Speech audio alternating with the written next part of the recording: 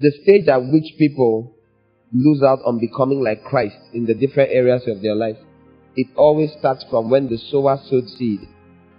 The sower that sowed the seed is the Son of Man.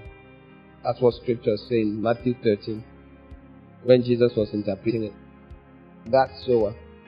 But you and I know that Jesus doesn't come here and stand and preach sermons to you. You have not gone to any church group where Jesus showed up. Peace. And began to preach. He always used people as the Spirit of Christ in that person signifies, and you receive it. Then the seed is sown. For many, many people, after that seed was sown, that was the end. It was never watered. Who knows what happens to a seed that never encounters moisture? Okay, Bim says it rots. Sometimes it doesn't rot, sometimes it just stays there. Whenever you dig it out, the way you put it, that's why I did. I'm here for you. Achieving nothing, nothing changes. You know what happens whenever someone goes to a place and hear the truth? A truth for the first time. Every time you hear a truth for the first time, that's the planting of the seed. Every time you hear more about it, that's watering. And it grows and it grows. When it comes out and hits the sun, do you know what the sun is? Persecution. All of this is in Matthew 13. You can go read it.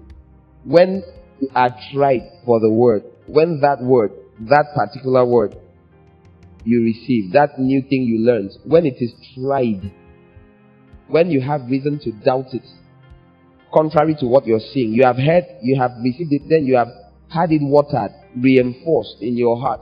You have been shown evidence over and over again from scripture. And then reality steps in. The sun shining. You're no longer under the earth where it's cool and dark and wait, you know, like moisture filled and all that. Just there. Uh, it's not dry, it's not warm, it's just there. And you're in such a situation. Uh, and let me even say also dark, you know, you're not suffering the pain of sunlight in your eyes. And it's just there all night. It's growing. The growth has begun. But when it hits the surface, boom. And God says it's time for the sun. Did you know it is the sunlight that enables the production of chlorophyll? Which more or less is what the plant needs. Plants without sunlight don't thrive. They don't do well plants were made. Who, who doesn't know here that plants need sunlight? Without sunlight, bad crop, if there's any crop. Who, who, who didn't know here? So all of you know. Did all of you also know that the Bible says that when the sun comes up, and he now says, when Jesus interpreted, he says these are persecutions. When people receive tribulation for the sake of the word. In other words, tribulation is required for your fruit to grow. I think we should read it in case there are some doubtful, a few doubtful people that are not yet sure that God would want you to go through tribulation. Why should you go through tribulation? God forbid. It's not my portion. I will never go through tribulation. Tonight, will you ever experience fruitfulness in your life? You will not bring forth the will of God in the also. That's the way it works. Matthew 13, verse 18. When anyone hears the word of the kingdom and understands it not, then comes the wicked one and catches away that which was sown in his heart. This is he who received seed by the wayside. The wayside seed is the equivalent of the seed which never sprouted at all. Do we agree? It, it's the, the scripture says snatched away. The bird ate it you heard a message preached and it fell to the ground and that was its end. It never changed shape before it was swallowed up by the devil. The devil. How does the devil take away seed? You, you hear. And then you throw away everything. You hear it. You've heard it. You heard it said, um, don't do this or, or do this. And then you walk away from there and you do nothing with what you heard. You have no time to nurture that seed. and you drop it in a place it cannot possibly germinate. I hope you know there are places where things cannot germinate. If you place a seed of corn on this floor, will it ever grow? If a mouse does not eat it, or a bird, or any other creature, someone crush it.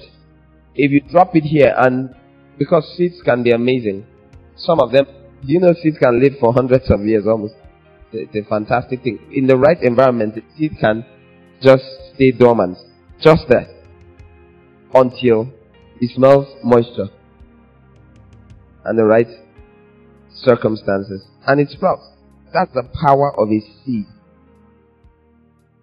You know the way that works in human beings' lives is that they can hear something. So let's say you go to some church, maybe a church like ours, and you hear a new thing, or two or three, and you don't hear it again for a very long time. You're not anywhere where such things are said.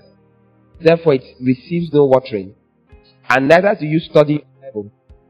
You refuse to go out and get water to come and pour on it. Okay? So it's not received water. I hope you know you can water anything that has been planted in you. You can water it. Did you know that? Oh, yes. Just go and study that thing thoroughly. You water it. So don't even say it's until someone waters it for me. You may not be very good at getting water yet. I agree. So it's wise to hang around those that can help water it.